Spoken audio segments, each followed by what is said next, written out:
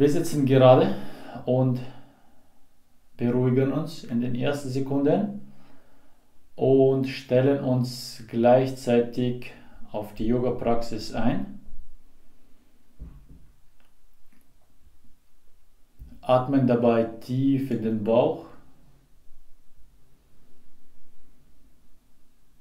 Einatmen Bauch vor, ausatmen Bauch zurück.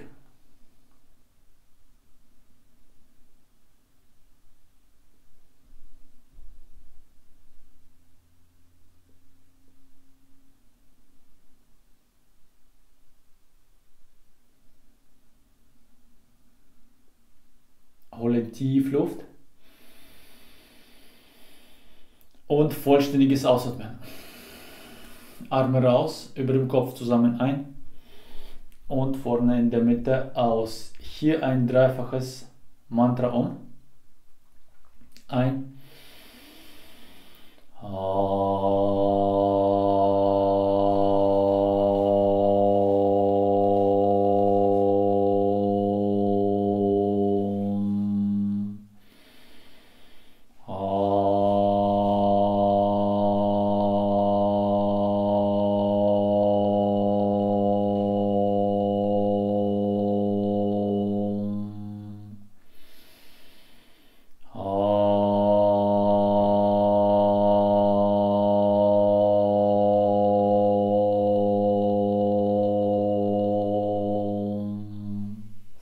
uns zur Begrüßung nach vorne. Es ist gleichzeitig so eine Respektserweisung der Praktik gegenüber.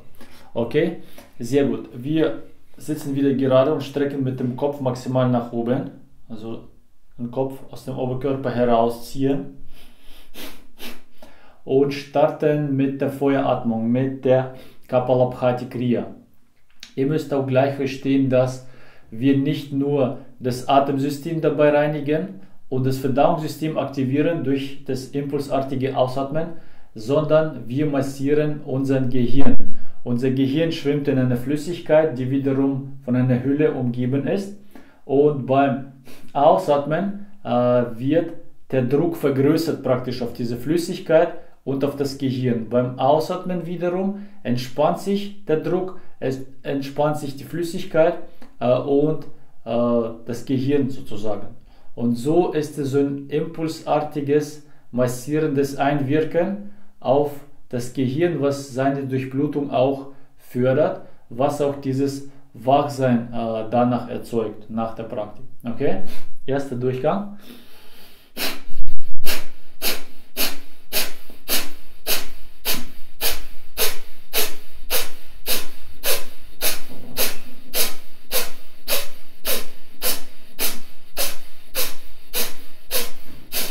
Tief ein, aus, einseitig mit den Armen hochziehen, Schultern aus dem Oberkörper herausziehen und nach links, rechts, also so ganz offen wie ein Trichter oder ein Y, beide Arme nach oben und nach den Seiten ausstrecken.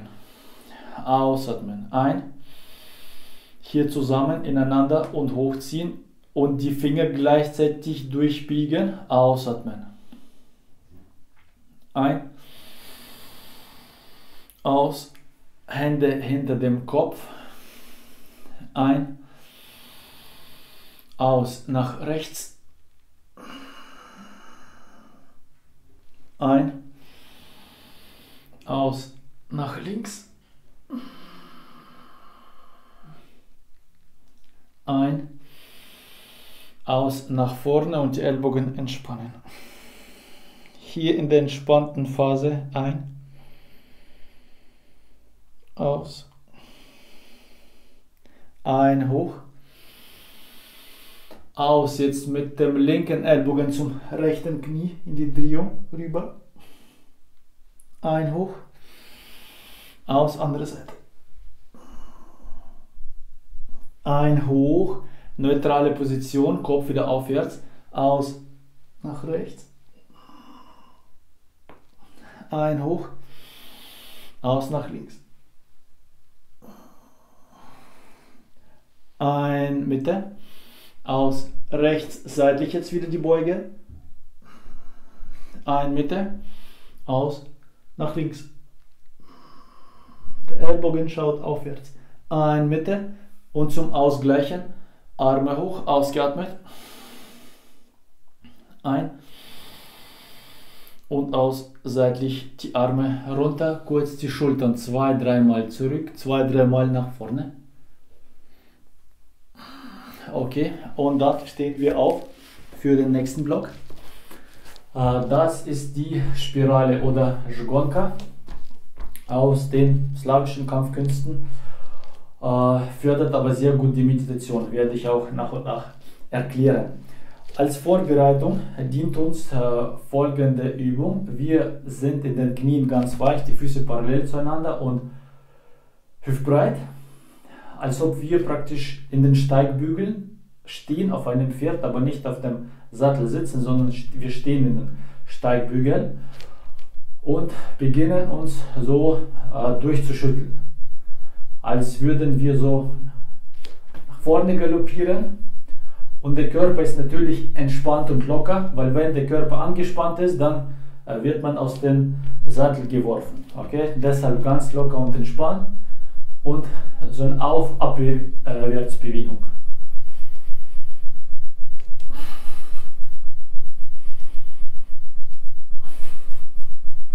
Gut, einmal durchgeschüttelt. Die Knie bleiben wieder ganz locker, Füße parallel zueinander und dann beginnen wir den Körper aufzudrehen. Das Prinzip ist dabei, dass der Körper quasi wie eine Stange bildet. Die Arme sind wie Seile, die wickeln sich um den Körper herum dann und die Fäuste sind wie Steinchen, die an diesen Seilen befestigt sind. Okay, einmal nur kurz so ausprobieren. Oberkörper ist dabei locker Oft spürt man, wie die einzelnen Wirbel auf ihren rechten Platz zurückspringen. Das fühlt sich an oder hört sich an wie so ein leichtes Knacken. Äh, die Wirbel befreien sich, wie man das dann auch spürt. Und wichtig ist noch zu verstehen, dass wir abwechselnd von einem Knie einen Impuls hochlassen. Dieser Impuls wandert durch den Körper, der Körper ist in dieser Zeit entspannt und der Impuls wandert bis zum Kinn rüber und wenn das Kind die Endposition erreicht, schicken wir einen anderen Impuls.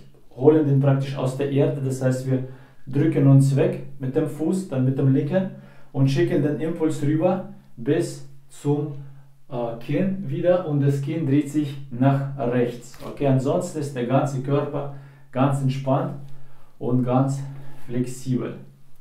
Okay, achtet jetzt auf diesen Impuls und links, rechts.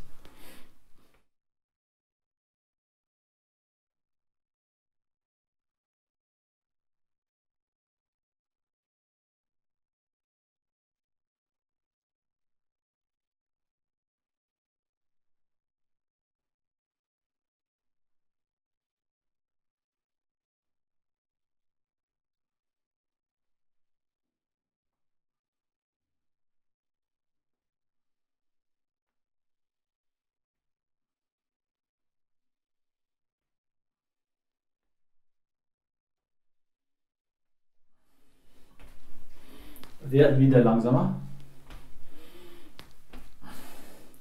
Okay, dann teilen wir diese Übung auf in praktisch äh, in die untere Phase, das ist, wenn die Arme unten sind, gehen dann zur mittleren Phase über, wenn die Hände hier an die Schultern gehen und dann die dritte Phase, wenn die Hände hier mit nach oben bewegt werden. Das ist dann, dass wir die Rumpfmuskulatur, die seitlichen Bauchmuskeln hier auch ein bisschen ordentlicher dann dienen und aufmachen. Okay? Die Rippenbögen aufmachen und hier die Muskulatur. Okay? Wir gehen runter Mitte oben und dann Mitte und wieder nach unten zurück. Okay? Locker entspannt Schultern und die Arme, Ausgangsposition und dann ganz langsam beginnen mit schwächeren Impulsen. Und dann diesen Impuls immer stärker werden lassen.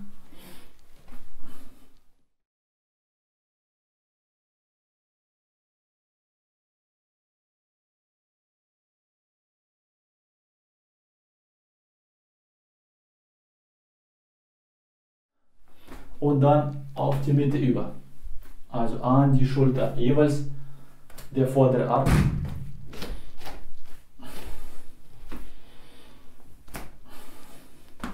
Und dann auch hoch über die Schulter nach oben.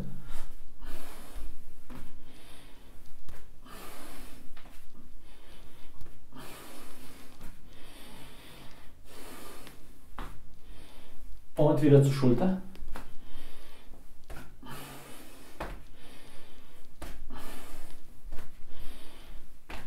Und ganz normal hängend die Fäuste um den Körper herum.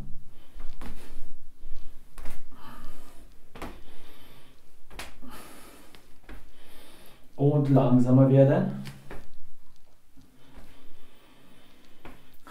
Okay, gut. Ausgangsposition. Sehr schön. Der nächste Block. Ich äh, zeige Ihnen dann praktisch mit freiem Oberkörper, damit ihr die Manipulationen mit dem Bauch besser sehen könnt. Es ist die Udiana Bandha. Udiana ist der mittlere, die mittlere Bandha, der mittlere Energieverschluss. Also das heißt, wir ziehen hier den Bauch hoch und äh, halten die Luft an. Also ausgeatmet, hochziehen, Luft anhalten, so lange wie es geht. Das ist Stufe 1 und die machen wir gleich als erstes aus der Fischerpose. Das heißt, die Füße bleiben parallel und locker, schulterbreit, auch wieder ausgelockert, entspannt. Hoch ein, aus.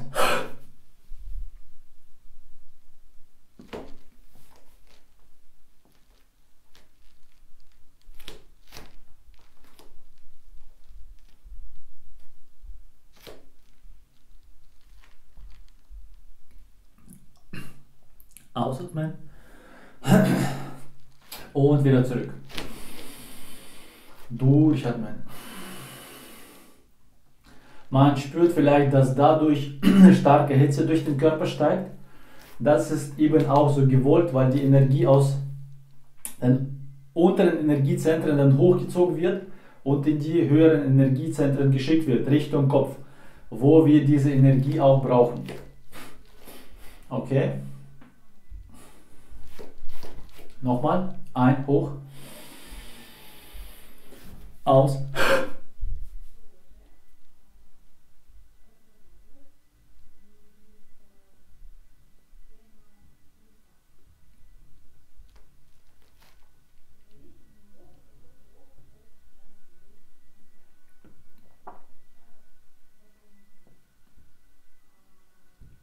Ausatmen. Ein und aus. Wieder ein, aus.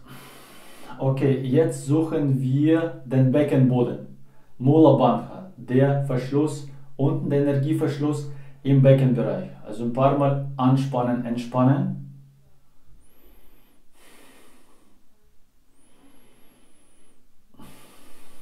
Das heißt, den Beckenboden anspannen und nach oben hochziehen. Und wir machen jetzt äh, die Macherbank, also diese drei Schlüssel zusammen. Den, den mittleren haben wir schon gemacht gerade. Den unteren machen wir gleich mit und den oberen, der obere heißt Jalandhara Bandha.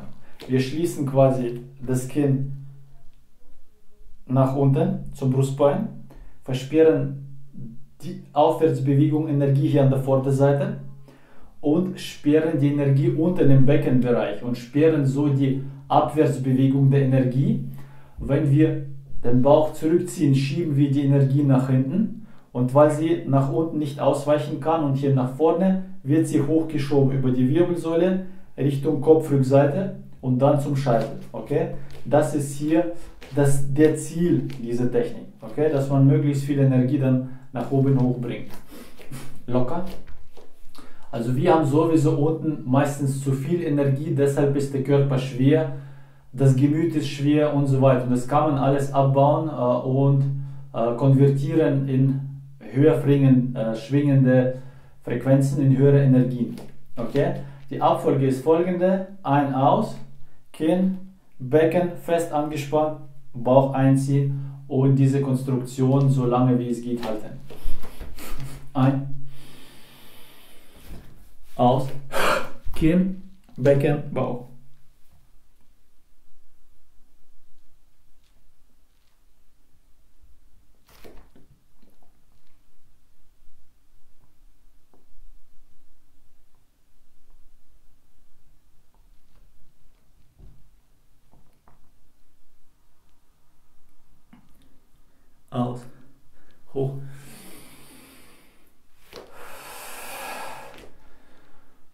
Durchatmen.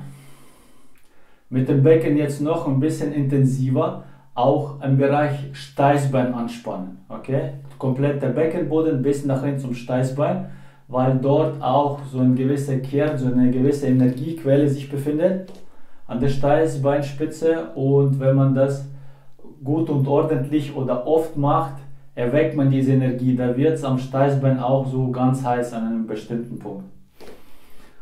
Ausatmen. Ein. Aus.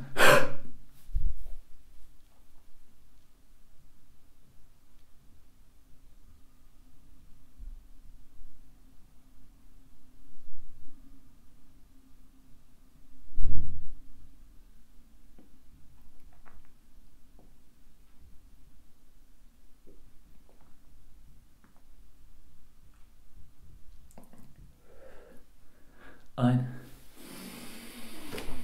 Aus. Ein. Noch ein Durchgang. Auch wieder mindestens so intensiv wie jetzt beim zweiten Durchgang. Und ganz gut darauf achten, was in der Wirbelsäule passiert. Also ab Steißbein Richtung die Nieren, Richtung äh, Zwischenbereich an den Schulterblättern und so weiter. Okay? könnte sein, dass es da heiß wird oder dass diese Hitze wie so eine winzige Schlange oder wie so eine winzige Nadel hochkriecht. Darauf bitte achten. Kann sein, dass es kommt, muss nicht sein. Es ist alles Übungssache und die Sache der Feinfühligkeit des eigenen Körpers. Okay. Ein. Aus.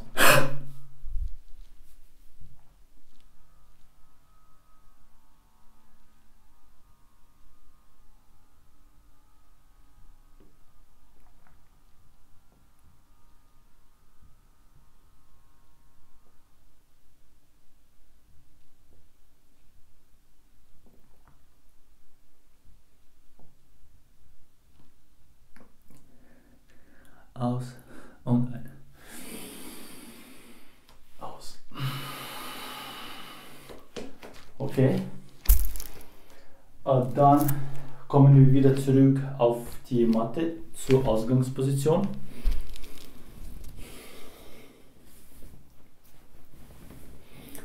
Das kann man natürlich öfter üben als nur dreimal oder auch ein bisschen länger oder jeden Tag am Morgen. Das wird alles seine, sage ich mal, Ergebnisse bringen. Und zwar könnten sie auch bei jedem von euch oder bei jedem von uns anders sein, diese Ergebnisse, weil jeder hat eine eigene Energetik, äh, unterschiedlich ausgeprägte Chakren, Energiezentren. Deshalb ist auch die Wirkung auch auf den Alltag, das ist das Wichtigste, dass wir durch das Yoga auf unseren Alltag wirken auch ein bisschen eine andere. Gut, zum Abschluss nochmal Kapalabhati.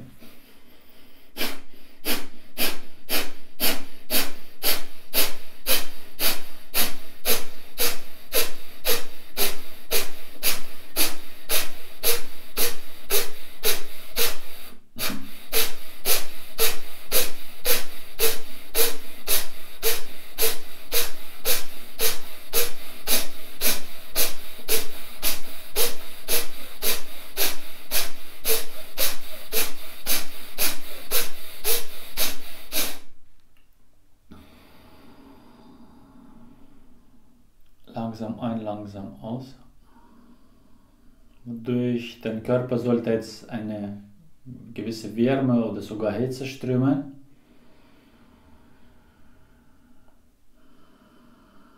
Es ist eine angenehme Ruhe mit einer gleichzeitig aktiveren oder klareren Wahrnehmung des eigenen Ichs und der Außenwelt.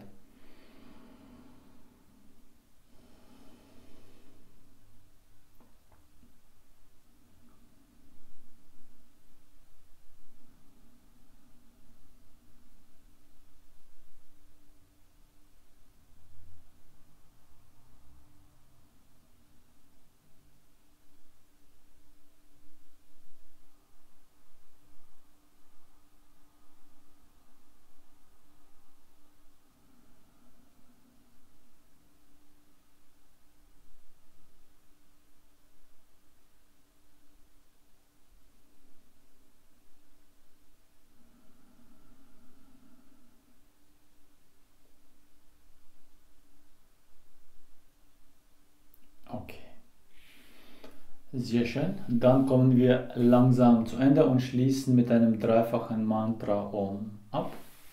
Arme hoch zusammen, vorne, runter. Vorbereiten. Ausatmen zuerst, dann ein. Gut,